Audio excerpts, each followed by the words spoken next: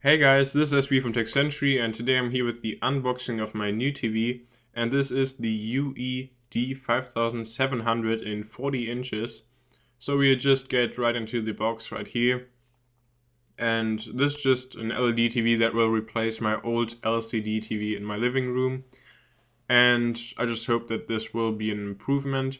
So first off, we have um, the adapter so that you can um, attach it to the stand that it comes with because the TV is so thin, you can actually not um, put the stand in directly, but you have to use this adapter. Then next up, we just have a lot of um, stuff that's in there to protect the TV.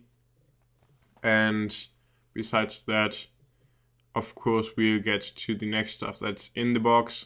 And this is the stand. So this is made out of glass, a little bit black below it, so it looks pretty much glossy black. And design is pretty nice, nothing too special about it.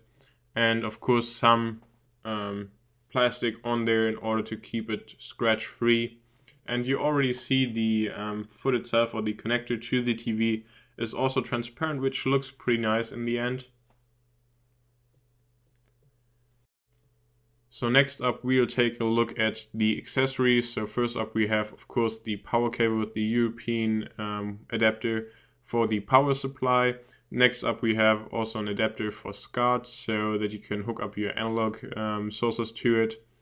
Also we get a component adapter and you see because the TV is so thin they didn't have enough room to put the regular cables in or connectors so they had to use those proprietary ports.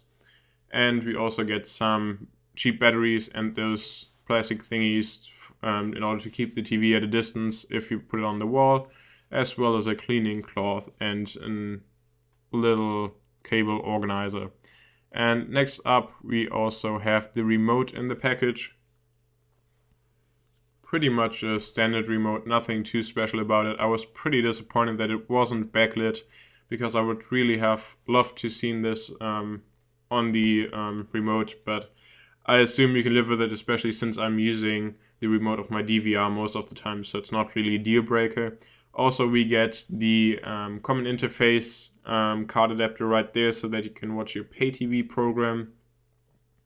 And also, of course, just regular um, instructions, a user manual, the warranty card, of course, just some basic information about internet um, on your TV or the Samsung smart apps and smart TV. And besides that, pretty much only the panel itself, which I'll take out in a little bit and then I'll also show you um, how it looks if the foot is installed, which isn't too much work, just a couple of screws that you have to put in there and in this adapter that you saw before. So I'll get the TV on the little table right here so that you can have a closer look at it. I'm pretty happy with the design. It's definitely not the best looking TV, but it's pretty much standard. So um, I'm okay with it and will do fine for um, now in my living room. So I'll just get the plastic off and there you see the TV. That's already my unboxing. I really hope that you liked it. If you did, please make sure to subscribe and I really hope to see you in my next video. Thanks for watching.